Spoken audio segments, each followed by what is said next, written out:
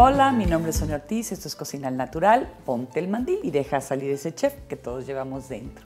Hoy les voy a enseñar a preparar unos pétalos de papa, que realmente es una papa en forma de rosa que queda muy coqueta, ideal para lucirnos en una ocasión especial o simplemente para halagar a la familia. No tienen que anotar nada, aquí en la I les dejo la liga donde pueden ver e imprimir la receta en cocinaycomparte.com. De cualquier manera les voy a comentar. Vamos a requerir unas seis papas, sal al gusto y 90 gramos de mantequilla, además de un papel encerado muy importante porque las vamos a hacer al horno. Van a ver qué rico. Primero que nada cortamos la papa en rebanadas muy delgadas con la ayuda de la mandolina hasta terminar de rebanar todas las papas.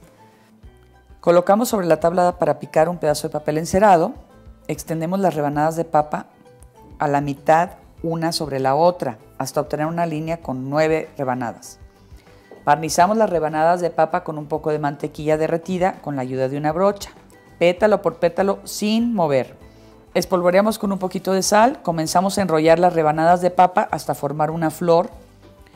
Con otro pétalo más finito lo enrollamos y lo metemos en el interior de la flor para darle el efecto final de la rosa. Debe quedar justo en el centro.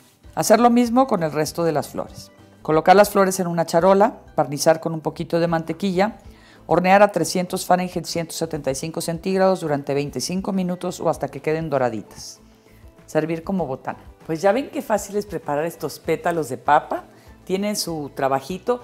Les pueden dar diferentes puntos. Lo pueden hacer desde crunchy, si, si los ponen en una lumbre más bajita para que se vayan secando completamente, o así suavecitos como los dejé yo. También se pueden hacer fritos. Para hacer los fritos hay que insertarles un palillo bien, así y otro así y meterlos a freír en aceite bien caliente para que queden papas fritas. Yo las quise hacer más saludables al horno, así es que vamos a ver qué tal quedaron.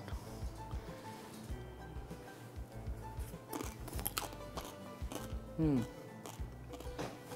Mm. Además bonitas, deliciosas. Si les gusta la receta, manita para arriba. Les dejo aquí en la i la liga para ver e imprimir la receta en cocinaycomparte.com. Gracias. ¿Me quiere? No me quiere. Hasta la próxima.